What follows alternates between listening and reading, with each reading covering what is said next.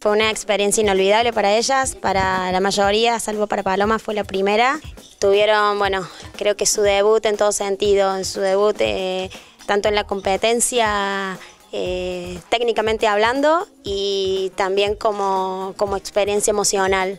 No es fácil eh, pasar de competir en Córdoba a competir en un sudamericano en Colombia con países eh, con un alto potencial en la gimnasia como es Brasil, como es Colombia, como, y como están creciendo muchos como Chile, Bolivia, Ecuador, que eran países que, bueno, en la época en la que yo hacía gimnasia no no eran potencia y hoy se han convertido también en uno de los más fuertes del territorio. Mi nombre es Martina Adroga, tengo 12 años y participé en la categoría infantil con aro, pelota, manos libres y cinta.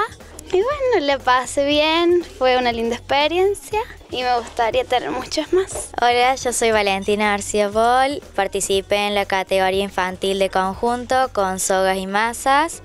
Eh, fue una muy linda experiencia y me alegra haber vuelto con una medalla.